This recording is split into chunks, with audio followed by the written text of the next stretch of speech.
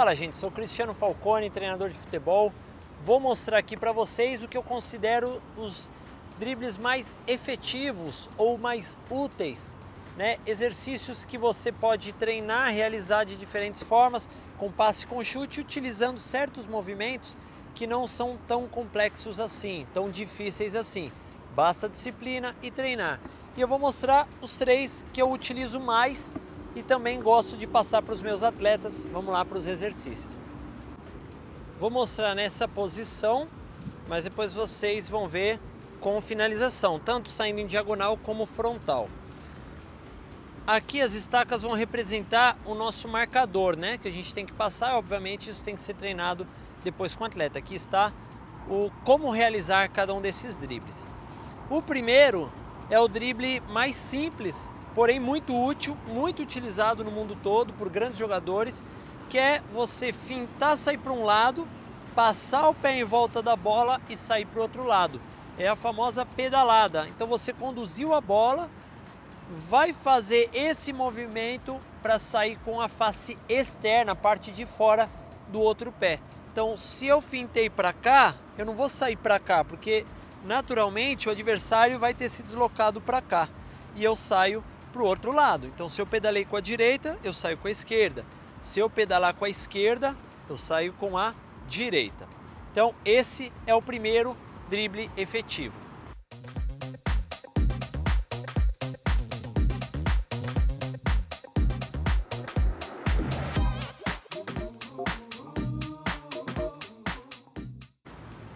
Você normalmente não está olhando a bola, você está olhando a frente, a posição do adversário, para ver para que lado ele está vindo, de que lado ele está vindo e para que lado ele vai sair, possivelmente.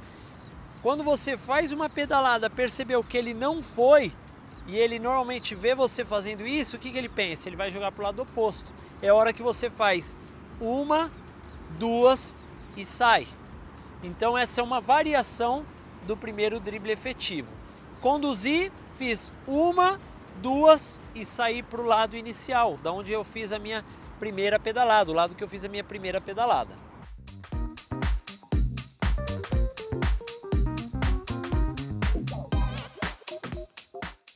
Bom, vamos ao segundo drible.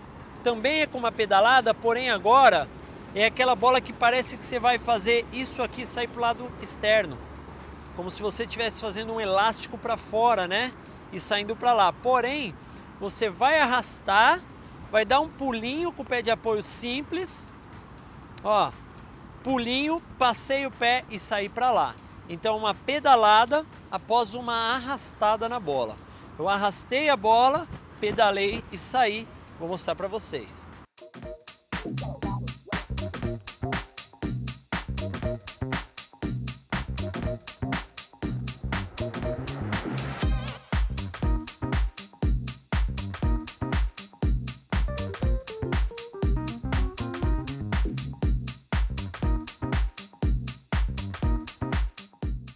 Variação. Arrastei, segunda pedalada e voltei. Então, de novo, igual lá no primeiro drible efetivo, eu finjo que vou dar só uma pedalada e sair, mas eu aplico a segunda e volto para o lado de origem ali, o primeiro lado que eu fintei. Agora vem um que é muito útil no futsal, mas você pode utilizar no campo também, desde que não esteja tão molhada a grama, a bola, que é com a pisada, também com a pedalada. Porém, agora você pisa na bola, rola ela na frente do seu pé de apoio e dá um passo para frente com esse pé. Então a bola vai passar entre os dois pés, ó. Eu pisei, passou entre os dois e saiu para o meu outro lado. Isso aí normalmente eu posso estar conduzindo, virar o corpo como se eu fosse sair para lá para enganar o adversário e aí sim eu consigo puxar e sair. Posso fazer isso com uma perna e, obviamente, treinar isso com a outra. E aí leva a bola embora. Aqui eu estou parando só para demonstrar o drible, mas normalmente você fez o drible, sai em velocidade, aceleração após o drible, se atirou o adversário até ele se recuperar, já foi. Conduziu, puxou, vai embora.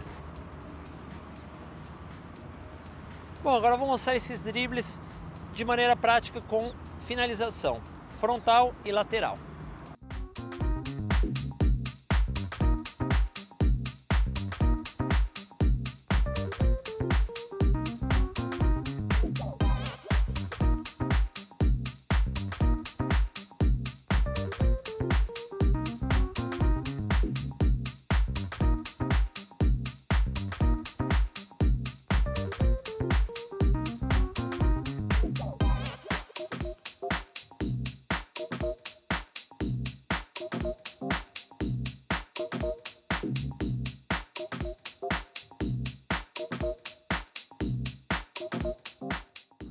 Bom, gente, espero que vocês tenham curtido. Muita gente tem reparado em alguns vídeos meus no Instagram utilizando esse tipo de meia e tem me perguntado o que veio de mensagem para mim após eu publicar alguns vídeos utilizando essa meia, fazendo algumas gracinhas com a bola, testando com chuteira de society, de futsal, de campo e chutando a gol, fazendo diversos movimentos. É uma meia que tem uma espécie de antiderrapante né, dentro dela, né?